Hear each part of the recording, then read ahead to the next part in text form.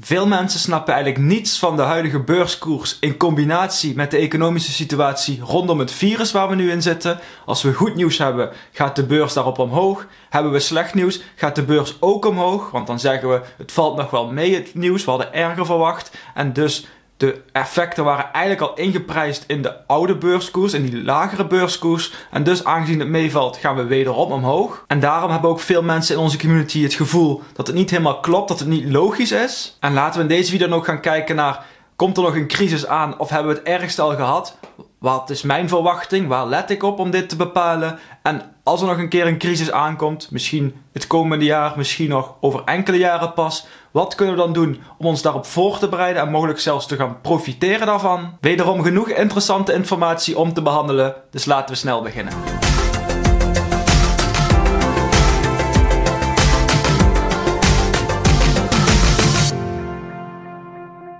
Leuk dat je weer kijkt naar een nieuwe video van een passiefinkomen.nl en laten we dan beginnen met de vraag, komt er nog een crisis? Dit is een vraag die ik ook jullie heb gesteld via mijn Instagram at een passief inkomen. Daar kun je heel veel stories, berichten lezen en je mening dus laten horen. En ik stelde jullie de vraag, onder andere de vraag, uh, verwacht je dat er nog een crisis komt? En uit meer dan 600 reacties bleek dat 70% verwachtte dat het ergste nog moet komen. En dat is eigenlijk ook mijn mening. Ik denk niet dat de beurs zoals hij nu heeft gereageerd, want we hebben alweer een ja, een daling gezien van 30%, maar ook alweer bijna een herstel. Want we zitten nog maar ongeveer 10% onder het hoogtepunt. Het hoogste punt ooit, eerder begin dit jaar. Dat dat niet in verhouding staat. In ieder geval, mijn gevoel zegt dat het ergste eigenlijk nog moet komen. En dan moeten we daarbij wel zeggen dat de beurs vooruit kijkt. Beleggers kijken eigenlijk in de toekomst. Zij gaan proberen in te schatten wat het bedrijf, wat de beurs doet met de winst, de groei, de omzet de komende maanden, misschien zelfs de komende jaren. En op basis daarvan wordt eigenlijk de koers bepaald. Hetgene wat jij over hebt voor dat bedrijf. Terwijl het nieuws eigenlijk gaat over wat gebeurt er vandaag of wat is er gebeurd in de laatste weken. Cijfers die daarin worden behandeld zijn vaak cijfers van de vorige maand. Dus die kijkt eigenlijk een beetje terug of misschien naar het heden. Terwijl de beurs juist dus vooruit kijkt. En daarom kan het ooit zo zijn dat er heel slecht nieuws komt. Ehm, ja, dat is dus nieuws wat vandaag uit is gekomen, wat gebaseerd is op cijfers van de laatste weken. Terwijl eigenlijk, zoals gezegd, de beurs vooruit kijkt en die periode dus al heeft gehad. En dan zou logisch zijn dat dat al in de prijs inzat, zeg maar bij de beurs, in de beurskoers inzat geprijsd. En dat daarom de beurs niet altijd per se reageert op negatief nieuws. De beurs zal dan ook alleen negatief reageren op nieuws wanneer het slechter was dan dat ze van tevoren hadden verwacht. Of wanneer er een impact bekend wordt eigenlijk waar ze nog geen rekening mee hadden gehad, die impact gaat hebben op de komende maanden en dus ook eigenlijk op de toekomst. Als we dat weten, laten we dan even gaan kijken naar een paar kwartaalcijfers, want ook de afgelopen week zijn er weer veel kwartaalcijfers bekend geworden. Pakken we twee Nederlandse bedrijven eigenlijk daaruit. Te beginnen met Air France KLM. Nou, we zagen dat Air France KLM een netto verlies had in het eerste kwartaal van 1,8 miljard euro. En het omzetverlies was 922 miljoen. En dat daalde daarmee naar zeg maar 5 miljard. En dan moeten we eigenlijk rekening mee houden dat KLM pas stopte met vluchten in maart. Dus eigenlijk pas slechts een paar weken van het eerste kwartaal. En we zien eigenlijk al directe effecten dus. Het andere bedrijf is ING, een totaal andere sector ook meteen, de bankensector. Zij zagen 40% minder winst, nu nog 670 miljoen euro winst. 661 miljoen euro hebben ze naar de stroppenpot gedaan. Dat wil zeggen dat ze geld apart zetten voor leningen die mogelijk nooit meer worden terugbetaald. Tuurlijk vanwege die economische situatie die we nu hebben. En daarnaast zijn er ook nog eens 100.000 klanten die hebben betaaluitstel gekregen op leningen die ze hadden. Dus wil niet zeggen dat zij verwachten dat ze het niet meer terug gaan krijgen, maar in ieder geval vast een periode gegeven om wat ruimte te geven aan ondernemers, bedrijven die daarmee te maken hadden. En zoals gezegd waren dit kwartaalcijfers over het eerste kwartaal, dus januari, februari en maart. En dit waren eigenlijk al geen beste cijfers, terwijl zeg maar een paar weken pas zijn met te maken hebben gehad met corona. Inmiddels zitten we in het tweede kwartaal. We hebben de eerste maand al helemaal gehad. April, waar eigenlijk alles wel een beetje stil lag in Nederland en in heel veel andere landen. We zitten nu in mei en we zien dat veel landen weer een beetje open gaan. Dat het een beetje op gang komt. Maar zeker terug naar de oude situatie gaat ook in mei niet gebeuren. En ook volgende maand in juni is het nog lang niet bij de oude situatie. En is het dus eigenlijk ook heel logisch en te verwachten dat de kwartaalcijfers van het tweede kwartaal, zeker bij deze bedrijven, maar bij heel veel andere bedrijven, slechter zullen zijn dan diegene van het eerste kwartaal. Dat is ook iets wat KLM zelf zegt. Want kijken we naar hun reactie eigenlijk over het eerste kwartaal. In het tweede kwartaal verwachten ze dat 95% van de vluchten geannuleerd zal worden. En zelfs in het derde kwartaal van dit jaar verwachten ze zelfs nog 80% van de vluchten geannuleerd zullen worden. En heel veel bedrijven geven van dit soort waarschuwingen. Ligt er een beetje aan welke sector, maar zeker de luchtvaart en de olie en dat soort dingen. Die geven echt waarschuwingen voor wat er de komende maanden, kwartalen gaat volgen. En heel veel andere bedrijven, eigenlijk alle bedrijven, uh, halen hun vooruitzicht weg. Normaal geeft een bedrijf aan wat zij zelf verwachten voor de rest van het jaar, van de komende 12 maanden. Maar dat trekken ze allemaal in omdat het gewoon heel erg onzeker is. En als iets onzeker is, dat vertaal ik naar dat ze nog geen verbetering zien in de komende maanden, of misschien zelfs de komende kwartalen, of dus het rest van het jaar. Maar dat is niet wat we zien op de beurs. Op de beurs zien we namelijk snel herstel. Grote indexen staan nu op min 10% ten opzichte van eerder dit jaar, voordat de crisis eigenlijk begon. En ik denk dat dat verschillende redenen heeft waarom de beurs zo snel is aan het herstellen. De eerste reden daarvan is de werkloosheid. Want die liep de afgelopen week in Amerika met 3,8 miljoen werklozen op naar inmiddels 30 miljoen werkloze Amerikanen. En die 30 miljoen is dus eigenlijk van de laatste zes weken. Zoveel mensen zijn toen in Amerika hun baan verloren. En dat is ongeveer 20% van de beroepsbevolking. Volgende week komen de officiële cijfers. En daar wordt uitgegaan van minimaal 14%. En je zou verwachten met deze cijfers dat de beurs daar heel erg op reageert. Dat het negatieve effecten heeft. Maar de beurs gaat er eigenlijk alweer vanuit dat ook heel veel van deze mensen weer, nu de Amerikaanse economie ook weer opstart, weer snel aan het werk zullen gaan, snel hun baan terug zullen krijgen, omdat heel veel van dit soort mensen een tijdelijk contract hadden, dat ze tijdelijk thuis zaten, dat nu al die mensen weer nodig zijn om alles weer te maken, winkels te openen en dat soort dingen. Maar ik denk niet dat dat het geval is. In ieder geval, mensen zullen zijn baan wel terugkrijgen, maar zeker niet net zo snel als dat ze verloren zijn eigenlijk. En dat hangt eigenlijk ook weer direct samen met de consumentenuitgaven bij werkeloosheid, eh, inkomensverlies of misschien zelfs inkomensdaling. Houdt het vaak in dat mensen zijn geld liever vasthouden, dat ze wat meer zekerheid bouwen, een buffer opbouwen. Ook dat heb ik jullie gevraagd via mijn Instagram. Ik vroeg hebben jullie misschien last gehad of hebben jullie te maken met minder inkomen vanwege deze crisis? 25% van de mensen die daarop reageerden zei ja, ik heb minder inkomsten. En dit komt onder andere omdat ik minder opdrachten krijg. Ik had een 0 uren contract en nu is het gesloten, dus ik heb geen uren meer.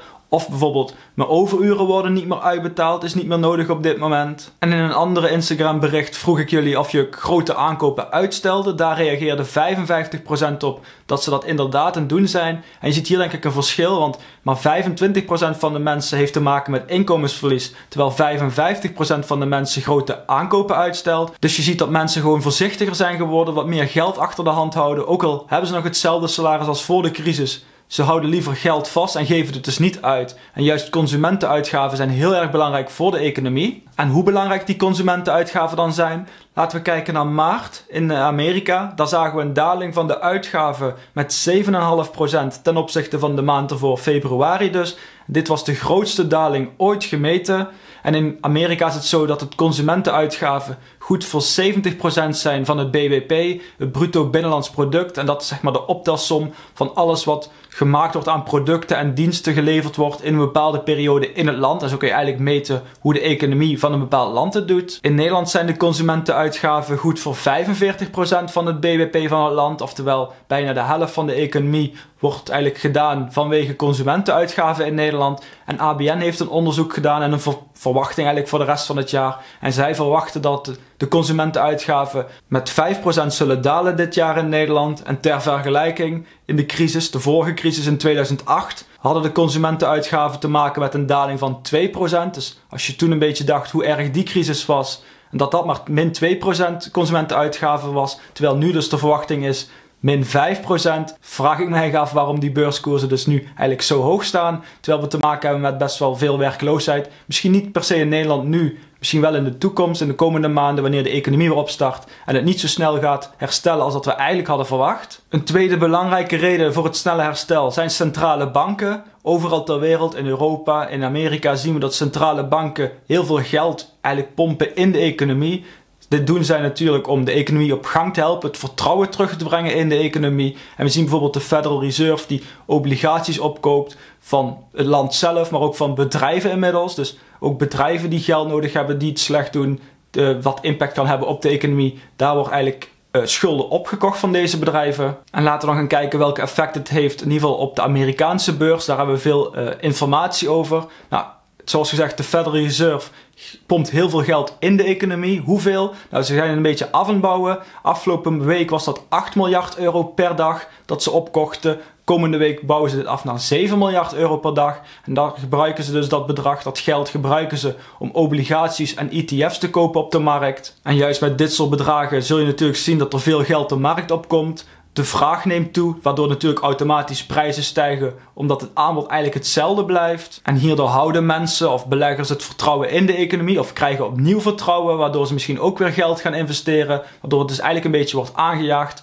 De vraag juist wordt opgepompt op deze manier, want natuurlijk de koersen door gaan stijgen. En die koersen stijgen zo hard dat we, zoals gezegd, nog maar 10% onder de top van eerder dit jaar zaten. Dat we dus bijna helemaal hersteld zijn. En ik denk dat deze stijging harder gaat dan je zou verwachten bij dit soort crisis. Zeker wanneer je ook kijkt naar bedrijven, zoals we eerder zagen bij kwartaalcijfers. Ze hebben geen verwachting meer voor het komende kwartaal, voor de komende kwartalen, voor de rest van het jaar eigenlijk. Dus hoe kun je eigenlijk iets baseren als het bedrijf zelf al geen vooruitzicht meer geeft? dat niet ja, per se positief, ook niet per se negatief over is. Of misschien wel negatief is, maar niet negatief genoeg om een winstwaarschuwing te geven bijvoorbeeld. Dus hoe kun je eigenlijk als een bedrijf er al niet in gelooft of ja, vol vertrouwen eigenlijk een vooruitblik kan geven. Hoe kan de markt dit dan wel doen? Dit zijn dus eigenlijk puur speculaties die je nu ziet. Want analisten doen dus eigenlijk een voorspelling dat de beurs binnenkort weer snel herstelt. Dat het economie weer snel herstelt. Eigenlijk net zo snel als dat we gesloten zijn, gaan winkels weer open en zal alles weer teruggaan naar het oude. Nou, zoals ik in vorige week al een video wel heb verteld,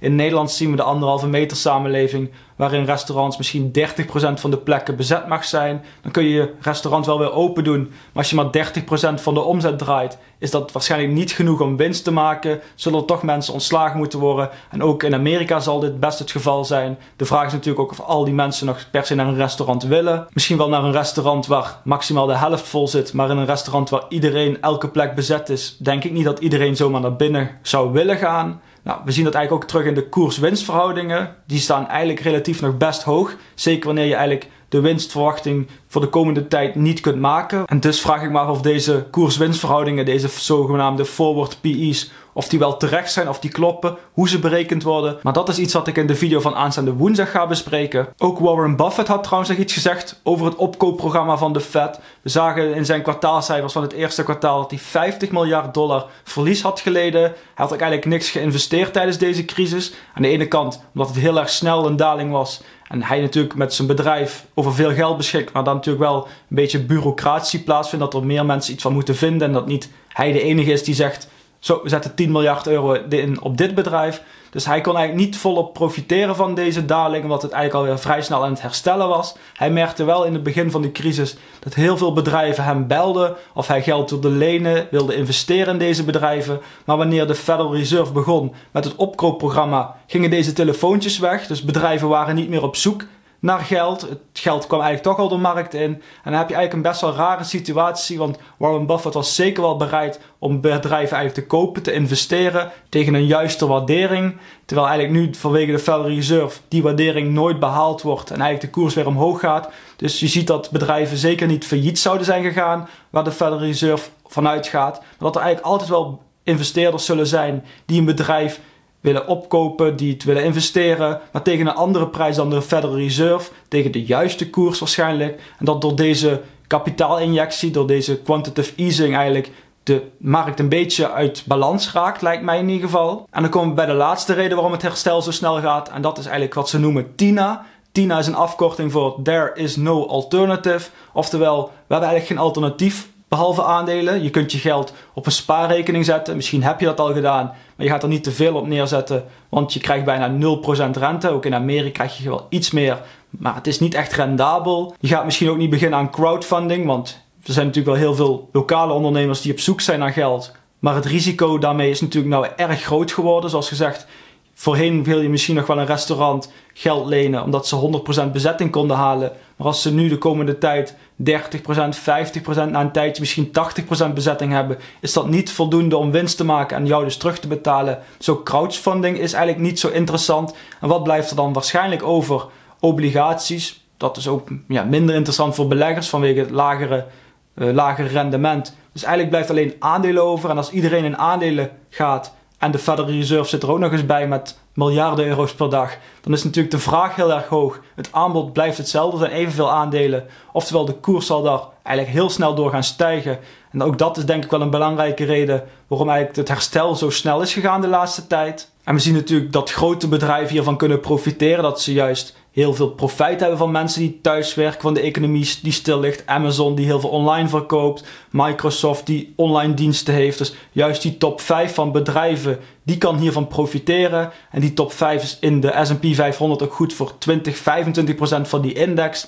Dus als die bedrijven profiteren, profiteert er eigenlijk heel de index door. Die gaat snel omhoog. En voordat we verder gaan met het volgende onderdeel, waarin we gaan kijken hoe we ons kunnen voorbereiden en kunnen profiteren eventueel van een crisis, wil ik je vragen: wat denk jij daarvan, van de huidige situatie? Wat verwacht jij van de komende maanden? Laat dat weten in de reactie onder deze video. En als je toch onder deze video bezig bent, geef dan meteen een duimpje omhoog als je het een leuke, interessante video vindt. Zo weet ik welk onderwerp ik vaker moet behandelen. En ben je nog geen lid van het kanaal, maar wil je wel meer video's zien? Klik dan op abonneren, klik op bel-icoontje om altijd weer een melding te krijgen als er een nieuwe video online staat. Maar dan gaan we nu dus verder met het voorbereiden op een crisis. Want misschien verwacht jij, net zoals ik, dat er binnenkort nog wel een keer een crisiscorrectie komt. Of misschien komt die niet dit jaar, maar over vijf jaar of weet ik wanneer. Want gemiddeld elke tien jaar zien we eigenlijk wel een crisis. Hè? 2000 hebben we gehad, de dotcom-bubbel. 2008 de financiële crisis. En nu dus iets langer, 2020 crisis rondom corona, laten we het zo maar even noemen. Dus wat kun je doen om voor te bereiden op dit soort momenten, op deze crisissen en eventueel zelfs te profiteren van deze situatie? Hoe pak ik het aan? Die voorbereiding begint met een buffer, eigenlijk een spaarpotje met geld voor noodgevallen.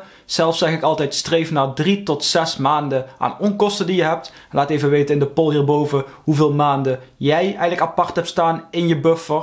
In mijn geval is dat nu 10.000 euro, wat betekent dat ik 8 maanden vooruit kan, dat ik 8 maanden geld heb aan onkosten, zeg maar, aan mijn standaard onkosten. Dus mocht ik mijn baan kwijtraken, mocht mijn auto kapot gaan, heb ik in ieder geval het geld om het onderhoud te doen. Of misschien in komende tijd te kunnen overleven, laten we even zo noemen. En tegelijkertijd heb ik ook de tijd eigenlijk om de juiste beslissing te nemen. Dat ik erover na kan denken en niet dat ik snel snel moet beslissen. Omdat geld een belangrijke rol speelt. Maar juist de tijd en de rust hebt om goed na te denken over de beslissing en de gevolgen daarvan. Daarnaast heb ik ook nog een beleggingsbuffer zoals ik het noem. Dus niet geld dat als spaarpotje geldt voor noodgevallen, maar eventueel voor beleggingen als je denkt dat de beurs nu te hoog staat, dat koersen te hoog staan, blijf dan wel gewoon bijvoorbeeld je maandelijkse bedrag investeren. Maar alles wat je extra zou kunnen doen, willen doen, maar niet het juiste moment vindt op dit moment, zet dat dan apart. Ook ik blijf nog wel telkens investeren, maar zet ook telkens geld apart. En ik bouw dus een potje op voor een beter moment. Dat mocht de beurs weer een, een flinke dip krijgen, dat ik dan volop kan investeren of wanneer het geleidelijk naar beneden gaat, dat ik dollar cost averaging kan toepassen en zo mijn gemiddelde aankoopprijs naar beneden krijg, waardoor ik op langere termijn toch een hoger rendement heb. En ook ik ben dit al langer op het bouwen en eigenlijk heb ik te weinig geprofiteerd van de crash die we eerder zagen dit jaar. Net zoals Warren Buffett, het ging heel erg snel en juist herstelde ook heel erg snel. Ik had verwacht dat het nog verder door zou dalen. Dus ik verwacht eigenlijk, gebaseerd op wat ik eerder heb verteld in het begin van deze video, dat er nog wel een keer een crash, een correctie komt in het tweede of derde kwartaal. En dat ik dan in ieder geval genoeg geld heb om dan wel te kunnen profiteren. En een derde belangrijk punt is spreiding. Door spreiding toe te passen kun je zorgen dat je het risico van je beleggingen minder wordt. Je kunt bijvoorbeeld uh, een gedeelte investeren in vastgoed, een gedeelte in obligaties, een gedeelte in aandelen. En ook binnen aandelen kun je verschillende sectoren pakken. Pak je de voedingsmiddelenindustrie, pak je gewone industrie of retail. Daardoor kun je eigenlijk een beetje zorgen dat niet elke sector wordt getroffen. Dit is een beetje een apart geval, aangezien bijna alle sectoren stil liggen. Maar ook nu zijn er nog steeds sectoren, zoals techbedrijven, die toch profiteren. Maar denk niet alleen aan spreiding van je beleggingen, denk ook aan spreiding van je inkomen. Grote kans nu dat jij volledig afhankelijk bent van één inkomen, van een salaris. En probeer er in ieder geval voor te zorgen dat het zal niet lukken op de komende maanden al meteen, maar misschien wel voor de crisis over vijf of tien jaar. Dat je dan voorbereid bent, dat je meerdere inkomensvormen hebt, dat je niet alleen je salaris hebt, maar dat je bijvoorbeeld daarnaast bijverdient met een blog, een YouTube kanaal, weet ik welke manier je kunt doen. Je kunt natuurlijk ook gewoon een bedrijfje beginnen, eventueel online retail, online verkoop. Maar zorg er gewoon voor dat je meerdere inkomensbronnen hebt. Dat mocht er eentje wegvallen of minder worden, bijvoorbeeld je salaris, dat je ontslagen wordt of dat je in de WW komt en terugvalt naar 70%, dat je dan eigenlijk toch nog iets anders hebt om, het, om de daling eigenlijk op te vangen. Dat het niet per se een crisis voor jou wordt. En dat is ook wat miljonairs doen. Gemiddeld genomen hebben miljonairs zeven inkomens. Je hoort ook heel vaak dat de rijken steeds rijker worden. Dat heeft onder andere denk ik hiermee te maken. Zijn zij niet alleen afhankelijk van dat ene inkomen. Dus mocht er in het ene inkomen iets wegvallen, dan hebben ze nog genoeg. In dit geval vaak zes inkomens om het te compenseren. En misschien dat je juist in het ene inkomen wat wegvalt kunt profiteren in de situatie door het geld wat je verdient met andere inkomens. Zorg in ieder geval voor dat je dit op gaat bouwen. Het kost gewoon tijd. Het zal niet zomaar in enkele weken of maanden zijn dat je iets op kunt bouwen. Het zal jaren kosten, maar het is wel in ieder geval iets dat je kunt profiteren, dus zelfs van de komende crisis. Want dat er nog een keer een crisis zal komen, dat is eigenlijk wel een zekerheid. En gaan we dan kijken naar welke vormen van inkomen de, deze miljonairs dus vaak hebben. Zoals gezegd, zijn er zeven. Begin met earn income, oftewel salaris. Profit income, dat betekent eigenlijk gewoon als je een eigen bedrijf hebt, dat je iets verkoopt interest income. Dat betekent wanneer je geld uitleent aan andere mensen, aan bedrijven. Dividend income, wanneer je dus dividend krijgt op je aandelen. Rental income, wanneer je dus een huis of een appartement verhuurt of zo. Capital gains, wanneer je aandelen, of eigenlijk ook misschien wel je vastgoed, meer waard wordt. Dus je, je bezittingen worden gewoon meer waard. En royalty income, dus wanneer je een boek schrijft, een idee hebt, dat je daar de rechten, de licenties uitgeeft, zeg maar, en daardoor geld verdient. En op deze manier kun je dus ervoor zorgen dat je een crisis overleeft, maar mogelijk zelfs kunt profiteren. Want kijk bijvoorbeeld hier, wanneer je rental income hebt en het zou een crisis zijn op de huizenmarkt, dat de huizenprijs omlaag gaat, maar het gaat misschien wel goed op de aandelenbeurs, dan kun je eigenlijk je geld wat je verdient met dividend, met winststijging eigenlijk, of uh, je aandelen worden meer waard, dan kun je dat geld gebruiken om juist nu huizen te kopen die goedkoop zijn, of misschien juist andersom, gaat het slecht op de aandelenbeurs maar goed met je huizen, dan kun je misschien een huis verkopen en profiteren van de dip die er op de aandelenmarkt is. En op deze manier heb je dus verschillende ja, vormen van inkomen, spreiding, waardoor je kunt profiteren van de winst van het ene onderdeel en kunt gebruiken om een grotere winst te maken op de lange termijn bij het andere onderdeel. En als ik naar dit plaatje kijk, heb ik zelf inmiddels ook vijf vormen van inkomen. Niet altijd de grootste bedragen, maar het is in ieder geval wel weer een bedrag uit een andere vorm van inkomen. Maar dat zal ook weer behandeld worden in een volgende video. Nog genoeg ideeën dus. Laten we hierbij deze video afronden in ieder geval. Weer bedankt voor het kijken. Vond je het een leuke, interessante video? Geef zeker even een duimpje omhoog. Dan weet ik welke onderwerpen ik vaker moet behandelen. En deze video wordt eerder aangeraden op YouTube aan andere mensen, waardoor je die mensen helpt. Maar ook het YouTube kanaal. En mocht je nog zelf meer video's van dit kanaal willen zien, ik maak elke week twee video's die gaan over persoonlijke financiën, investeren en beleggen of passief inkomen. Dus klik hieronder op abonneren. Klik op het belicoontje daarnaast om altijd weer een melding te krijgen als er een nieuwe video online staat. En dan hoop ik je graag bij de volgende video weer te zien.